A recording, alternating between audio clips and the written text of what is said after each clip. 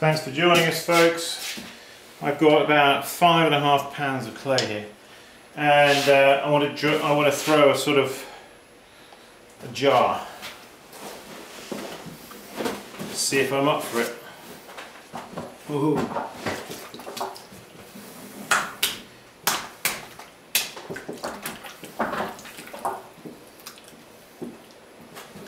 Dee, dee, dee, dee.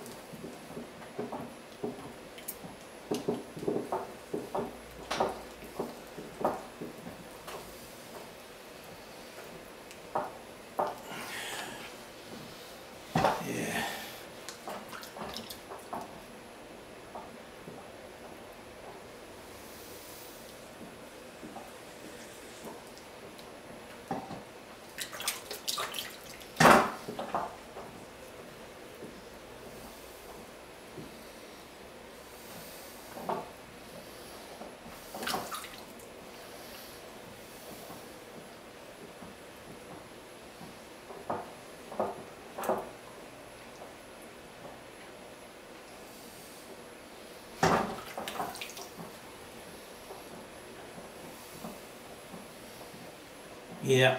Dee, dee, dee, dee, dee. Lovely stuff, clay, isn't it? So when you get a big lump of clay like this, sort of wrap your thumb around it like that and bear down on it a little bit, you know? Compress it.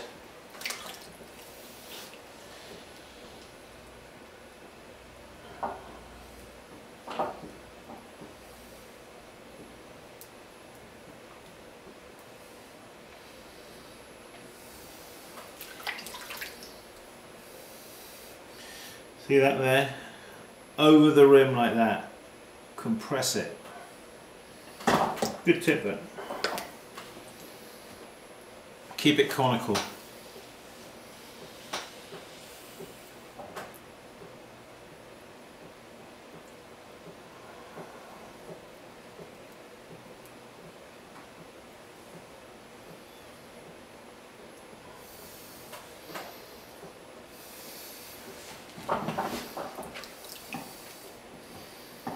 Get the water there and spread it like this with your hands, you see.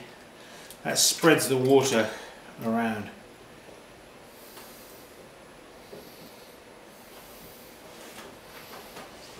Let's get down into the bottom here. We've got clay, we've got to get up. So using a, a knuckle lift,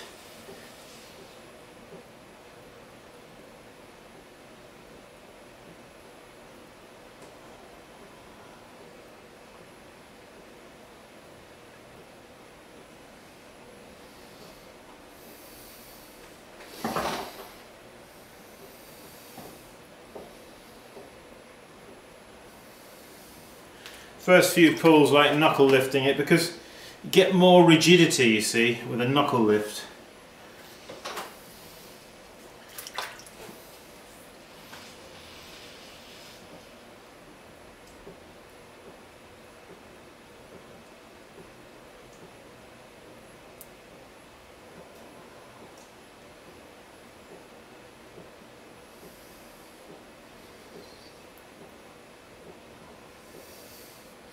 So you notice I'm lifting.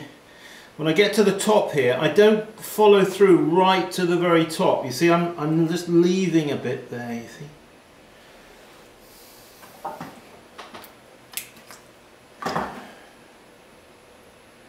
It's always, you know, when you get to the top of a pot and you suddenly find, yikes, I've not left myself enough clay. So, you want to Bear that in mind.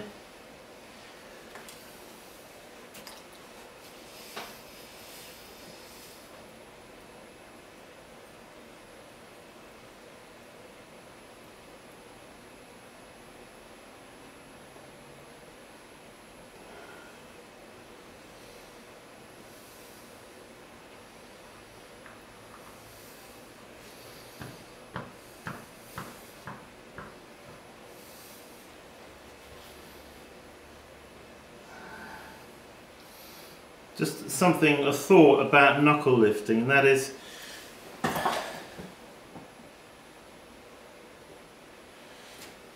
you don't have as many nerve endings in your end in your knuckle here as you do on your fingertips. So think about that um, in relation to feel what you're feeling you see through the end of your fingers which I'm not when I'm knuckle lifting so knuckle lifting is good I think when you are in the initial phases of trying to lift the clay but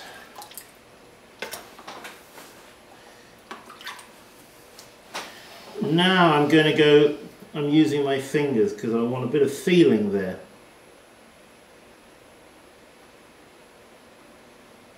See? My knuckle doesn't give me the feeling.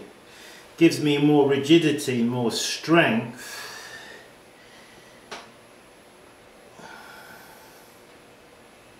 Okay.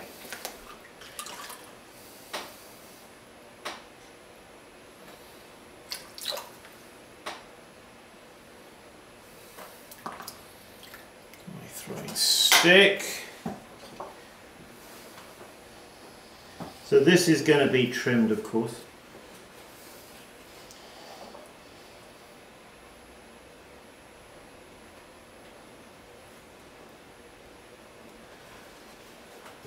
So just stick, stick the bottom down there but you know we haven't got to do a lot of and this is going to be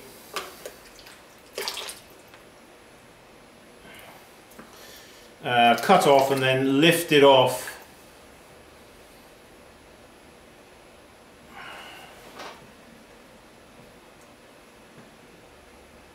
Yeah, so this form will be trimmed.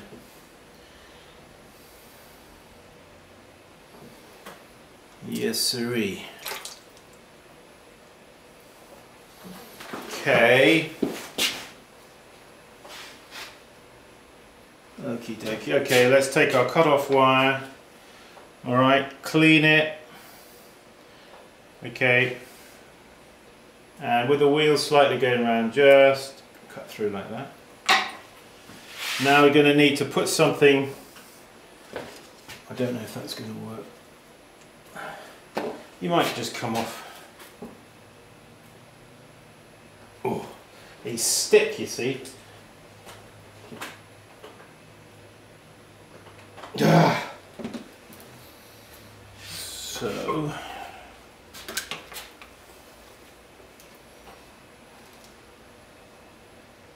Ooh, got to be careful about that. You see, when he jerks like that, you can make the pot go out of shape. Ooh. Did I knock him out of shape there? I guess I'll find out when I put him back on the wheel. okay, I'll just rest him there for now. Okay, so that, that, that's, that's, that's the procedure. Thanks for joining us folks. I'm going to be trimming this using one of these kind of strap type um, trim tools just to just to show just to show you um, I do offer these now. In fact, we're doing a special offer. One of my regular trim tools plus one of these. and it ends up you get it about four dollars cheaper. I think there's a couple of bucks off each tool. So if that interests you, go to my website, my Etsy shop, and I'm getting a, a load of tankards through the kiln. ah, yes, and. Um, so go there probably towards the end of this week. At the well, I'll be firing around about the end of the week. So okay, join me for that. I'll be around. Um, if anybody wants me to come and teach a workshop in your locality, wherever you are, don't hesitate to give me a call. We can talk about it and I'll tell you what my rates are for doing that, etc. So, you know, would be nice to leave frozen Pennsylvania for a few days to go somewhere warmer to teach a workshop. But if it isn't warmer, just somewhere different, that's fine. Uh, give me a write to me, Simon Leach, simonleachpottery.com or you can write to me at Simon, uh, simonleachpottery at gmail.com. Okay? Hey, thanks for joining us though, and hey, keep practicing. That's the secret. See you soon. Bye bye. Dee, dee, dee. Yep.